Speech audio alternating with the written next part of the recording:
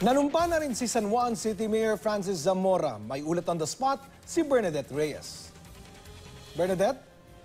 Oscar, nanumpa na nga ngayon bilang mayor ng San Juan si Francis Zamora dito sa San Juan Arena. Kasama niya sa inauguration ceremony ang kanyang may bahay at mga anak. Pinangunahan ni Senator Pansilo Lacson ang panunumpa ng bagong luklok na alkalde ng lungsod. Nanumpa rin kay Lacson ng kanyang ama at kongresista ng Lone District ng San Juan na si Ronnie Zamora. Dumalo sa inaugurasyon si San Juan Vice Mayor Jose Warren Gil at mga konsehal na inaasang manunumpa rin ngayong araw. Nakapagtala si Mayor Zamora ng mahigit 35,000 na boto lamang na humigit kumulang 10,000 boto na nakuha ng kanyang nakatunggali na si Janela Estrada. Sa kanyang talumpati, sinabi ni Zamora na magsisimula na raw ang bagong kabanata sa lungsod ng San Juan.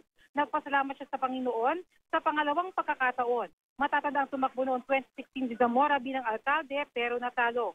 Pinasalamatan niya rin ang mga residente ng lungsod sa tiwalang pinagkaloob sa kanya bago ang panunumpa, nagkaroon din ng misa ng pasasalamat. Oscar? Maraming salamat, Bernadette Reyes.